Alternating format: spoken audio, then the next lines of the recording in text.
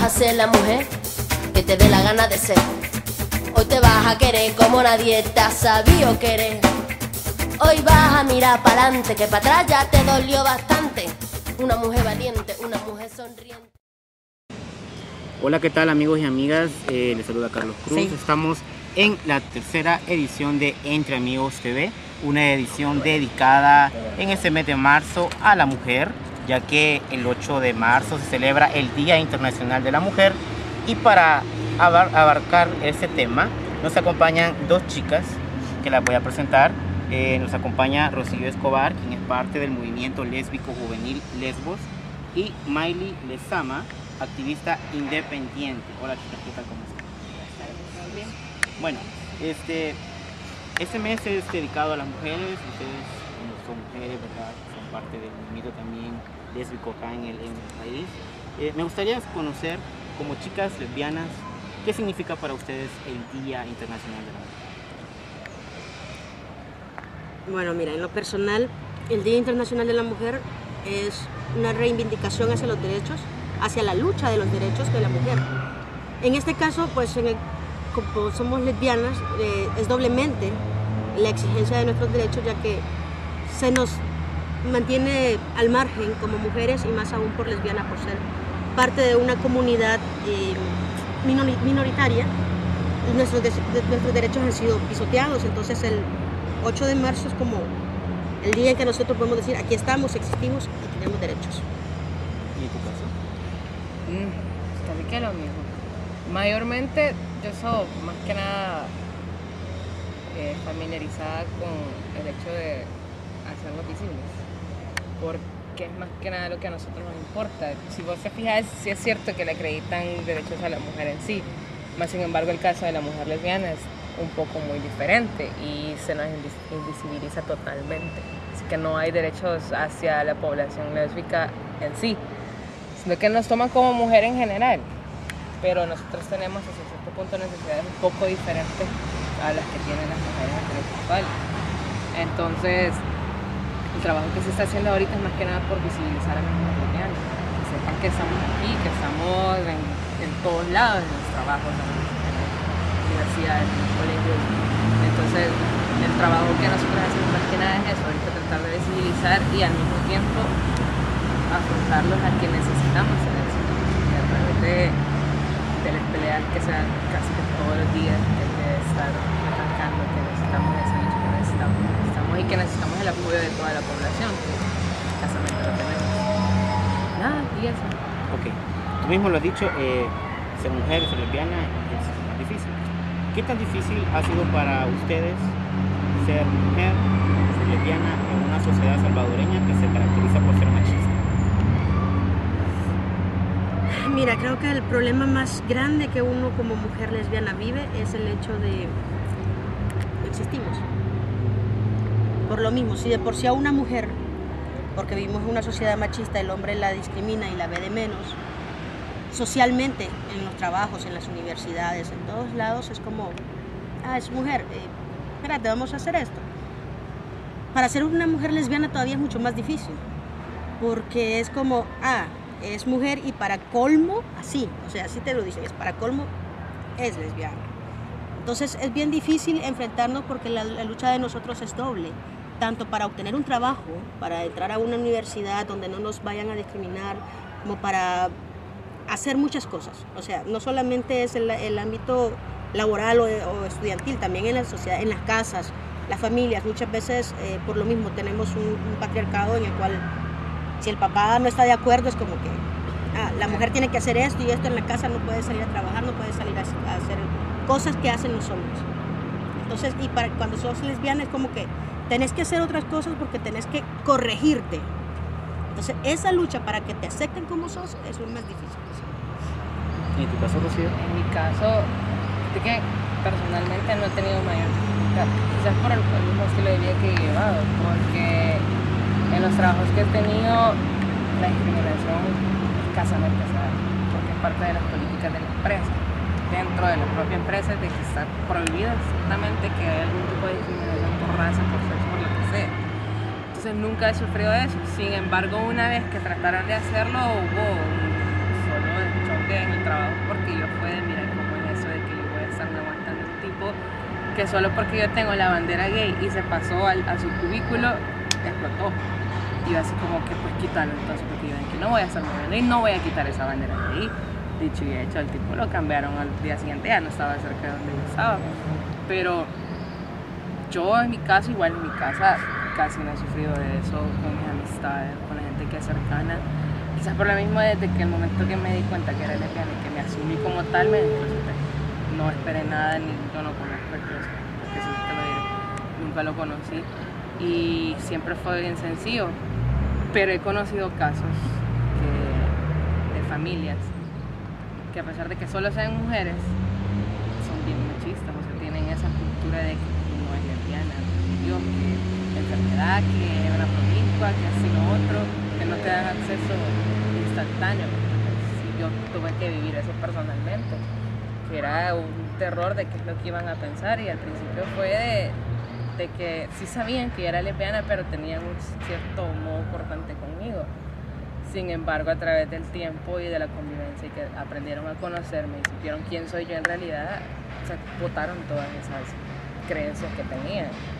Y nada, y ahora la mentalidad de esas personas es totalmente distinta. Incluso el muchachito que vivía ahí, que era un machista de primera, le cambió la mentalidad y él se volvió súper abierto y era así de que incluso en un momento eh, bromeando se puso unos zapatos de tacón y empezó a caminar con ellos y era así como que todo el mundo lo agarró en broma, ¿me Fue, no hubo ese reclamo de, que que no sé qué, somos maricos, cosas así, y era estricta lucha de que no digas maricón, no digas cristiano, no digas culero, es gay, es lesbiana, es trans, lo que sea, pero son palabras era de, ay, es que maricón, perdón. o sea, siempre insulto, pero por lo menos moderado en su manera Entonces, es lo que te digo, depende de, la realidad que vos vivas y de cómo la vivas, esa experiencia que vas a tener para todo el mundo. Eh, una de las facetas de la mujer es la maternidad. Eh, ¿tienen, ¿Han pensado o tienen pensado vivirla ustedes o dejar que su pareja la viva? Ah, mira, en lo personal, bueno, el vivir yo la maternidad directamente, no. Nunca ha sido mi, sueño, mi, idea. pero sí, eh, hace poco, mi última relación, mi última pareja que tuve, tenía una bebé. Bueno, yo viví con ella todo el proceso del embarazo, el nacimiento de la bebé y, dos años con ella y, y, pues te diré, a mí me encanta. O sea, siempre, siempre ha sido mi sueño tener un bebé en mi casa. Y siempre lo he dicho, yo parirlo, no. Pero sí, el hecho de adoptar un bebé, llegaría un momento en que sí lo haría. A mí me encantaría. ¿En tu caso, Rocío? Es que fíjate que nunca he tenido esa ilusión, jamás. Tengo cierta relación hacia los bebés, o sea, los puedo tener, qué bonito, los duermo, los jalo para arriba y para abajo por un día, o un ratito nada más, pero ya estoy que ya no quiero. Y nunca he tenido esa, esa llamada natural que toda mujer tiene supuestamente de querer ser mamá. Y en cuanto a mi pareja, ay, yo quisiera encontrar una pareja que no quisiera, te lo juro. Pero es que tenía una instalación tan grande que todo el mundo quiere tener hijos y yo no. Igual, no se lo prohibiría, porque es muy decisión de esa persona. Pero sería tan genial que no quisieran. Así te lo juro, sería tan genial, sería como mi pareja perfecta. Pero si en el dado caso me iba a encontrar a alguien que quisiera tener eso, creo que igual lo viviría y lo amaría de la misma manera. Hasta el momento no has tenido pareja que sea amado. No. No sé qué hubiera hecho, en serio. ok, bueno. En el país se lucha por la reivindicación y la defensa de los derechos de las mujeres. Como activistas en pie de lucha, ¿qué tan difícil es trabajar día a día para esta Mira, es bien difícil. Empezando porque eh, sabes que para tener una lucha necesitas un aspecto económico para poder movilizarte, para poder hacer esto, para poder mover gente, para dar incentivos y muchas cosas. Lamentablemente es difícil encontrar eh, organizaciones que puedan decirte, sí, mira, nosotros vamos a apoyar y vamos a dar. Entonces la mayoría de nosotros trabajamos con nuestros propios ingresos. Entonces es bien difícil porque es muy, muy escaso. sabemos que la situación no está muy, muy buena. Em, pues creo que esa es la, la dificultad más grande que hay, el aspecto económico para la mayoría de organizaciones. De ahí creo que de alguna manera el, el- el hecho del apoyo, el hecho de que, querramos o no, vivimos en un país que no está muy educado en cuanto a defenderse, en cuanto a luchar por lo que quiere. Y decimos, vamos a hacer una, una marcha y que tenemos un apoyo de 100, 200 personas a lo mucho, cuando en realidad tenemos contabilizados, por lo menos en, el perfil de, de Lesbos, existen más de 2.000 y algo de, de, chavas inscritas. Entonces sabemos que existe población, pero esa población a la hora de las actividades eh, difícilmente asi- asisten. ¿Por qué? Por el miedo, por el temor a, que las vean, a que sepan que la mayoría viven en el closet, a que... am, entonces ese es el problema más grande, poder decir, tenemos apoyo tanto económico como de, población. Entonces el trabajo que ahorita nosotros estamos haciendo más que todo es interno, empezar por trabajar con nuestro propio grupo, de, de decirles, hey, tenés derecho, hey, mira, puedes hacer esto, mira, puedes... Entonces, eh, creo que son las dificultades más grandes que hay como, como activistas. Bueno, ¿Qué pasó, Rocío? aquel día estoy viendo un post por ahí que decía que con la plata baila el mono. Y no es tan mentira en realidad, porque si vos citas, te lo voy a poner así, pero una vez eh, pedimos para un encuentro y fue así de. Como todo era gratis y todo iba a estar ahí, llegó gente. Pero vos le citas a un taller o, o la citas a algo que saben que no va a haber nada de remuneración, no va a haber nada de ni comida ni nada de eso, y fue lo que yo le dije a esa persona ese día. Son pocas las personas que en realidad trabajan para bienestar de la comunidad, sin necesidad de andar buscando algo que, que algún beneficio propio, porque nosotras así somos. Es decir, tenemos la posibilidad, porque igual como todas personas pasamos por momentos difíciles, no tenemos dinero ni para salir de la casa. Entonces a veces no asistimos a, las, a los encuentros o a los talleres o a las cosas que nos citan por esa razón. Pero si nosotros tenemos la disponibilidad de ir, llegar y hacer el trabajo, lo hacemos. Porque sabemos que es un bienestar propio y nosotros podemos ed- educar a las personas que, que están alrededor de nosotros. Yo eso le estaba comentando a Mike y yo no sé qué, qué hubiera sido de mi vida si no hubiera conocido el activismo. Porque a través de eso yo tuve la oportunidad de enseñarle a más personas qué tipo de derechos tienen o cómo pueden reclamarlos o cómo pueden vivir su vida. Entonces es bastante difícil en cuanto a- al apoyo que tenemos de parte de las personas.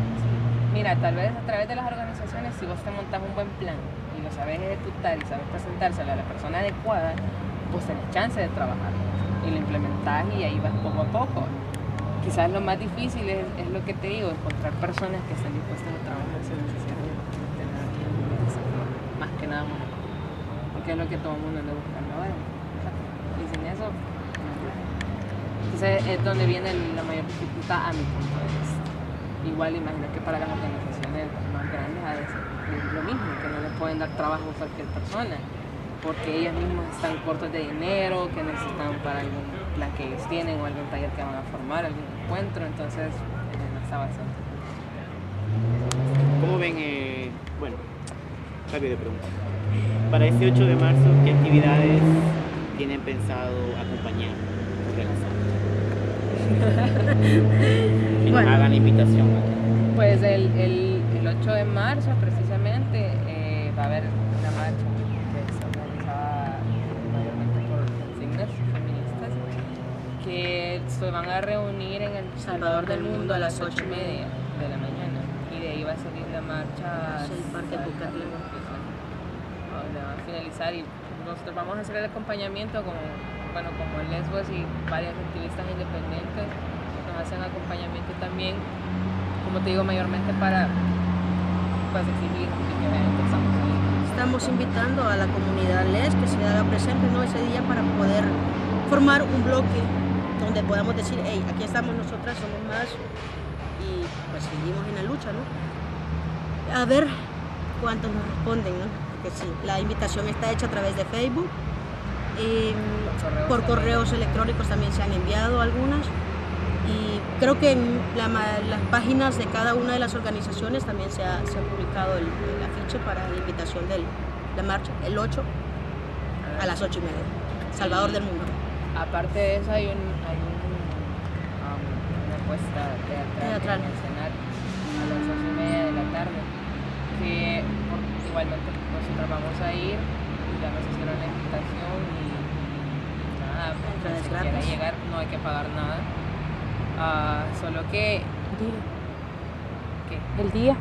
el El propio 8, el 8 a las, de El tarde, a las por la dos y tarde, a las media. 2 y media. después de todo el deschón que hay en la marcha, nosotros nos relajamos un ratito y a la cena. Antes de eso está la exposición de artes en el Centro de Mujeres Jóvenes de Latinas, acá por, Ah, bueno, por la San Luis. eh, están haciendo una exposición de artes ahí que ahora de arte feminista directamente de las mujeres eh, va a ser eh, creo que va a ser hasta el 18 de este mes va a estar abierta todo este tiempo. Se- Y, quieren dar la vuelta ahí. por si quieren ir a conocer. Son de es exposición de artes visuales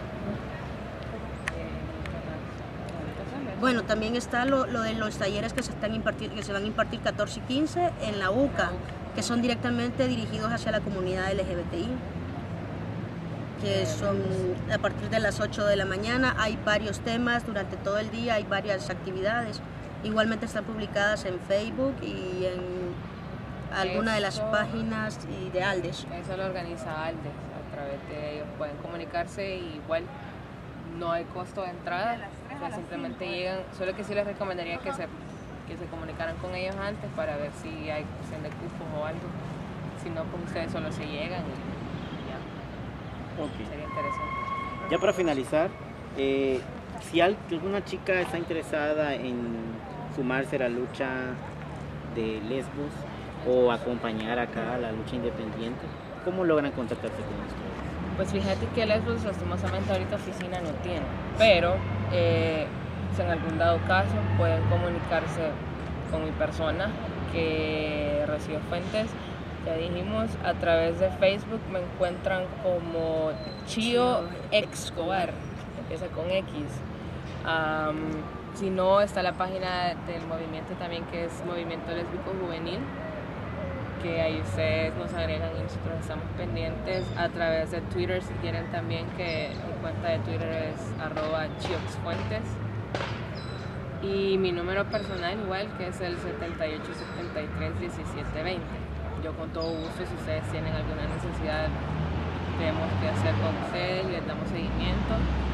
Eh, obviamente las restricciones aplican a la llamada. Porque tampoco a las 6 de la mañana voy a estar contestando pero mientras se dan Y el no tiempo- charlas personales. y no charlas personales que no sea de Que invada la privacidad de tu persona. que salgamos o cenemos o mira no si ese es el fin pues ya es muy aparte usted me lo informa pero si es en cuanto a, a activismo y todo eso ya durante el día Bueno, en, el- en mi caso, pues eh, por Facebook, eh, mi, mi cuenta es Lesama y mi número de teléfono es el 7969-2399. Cualquier duda, consulta, pues estamos a la orden para poder aclararles o poderle guiar hacia dónde pueden dirigirse o dependiendo de su necesidad. Ya para finalizar, ¿tu satisfacción de ser mujer?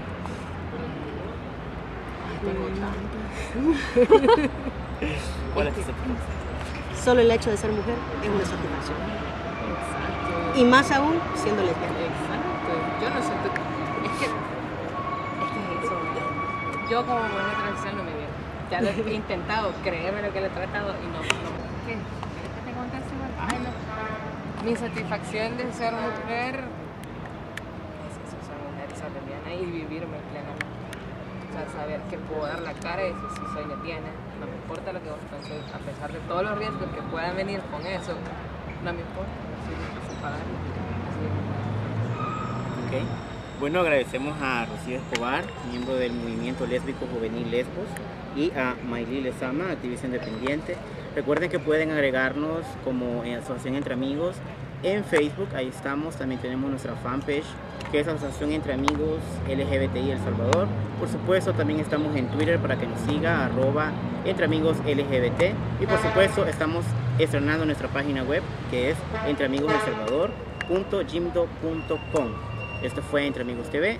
Agradecemos a las invitadas y los esperamos en la próxima edición. Hoy vas a descubrir el mundo es solo para ti, que nadie puede hacerte daño, nadie